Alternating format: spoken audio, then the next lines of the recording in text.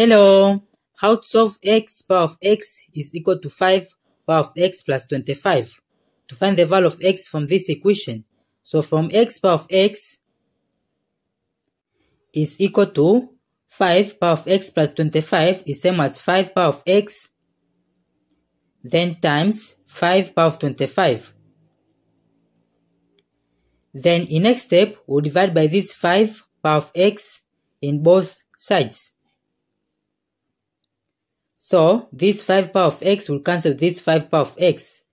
Then it will be this over this x power of x over 5 power of x is equal to this 5 power of 25. Then in next step, in here's division of exponent with same power. So it will be x over 5 then bracket common power of x is equal to 5 power of 25. Then from here the base of x over 5 will make this power same as base of x over 5. So divide by 5 in both sides. Then it will be base of x over 5 power of x over 5.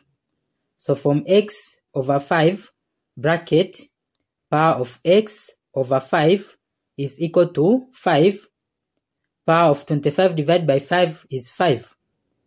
Now in here I will compare the bases x over 5 is equal to 5 and the power x over 5 is equal to 5. Therefore x over 5 is equal to 5. Then to find the value of x we'll multiply by 5 in both sides. So this and this will cancel. Then it will be x is equal to 5 times 5 is 25.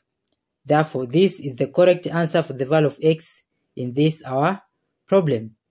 Now, to check if this value of x is correct, from this our problem, we substitute the value of x is equal to 25 into these positions of x. So, it will be 25 power of 25 is it equal to 5 power of 25 plus 25. So 5 power of 25 plus 25.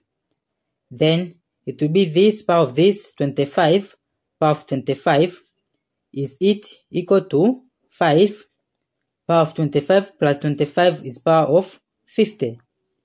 Then we'll make this base of 25 same as this base of 5. So this is same as 5 square then bracket power of 25 is it equal to 5 power of 50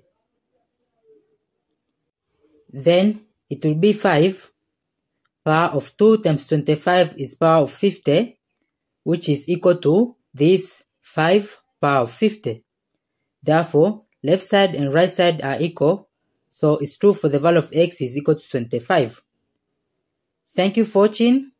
Don't forget these steps to miss out. Subscribe to my channel and see you in the next video. Bye bye.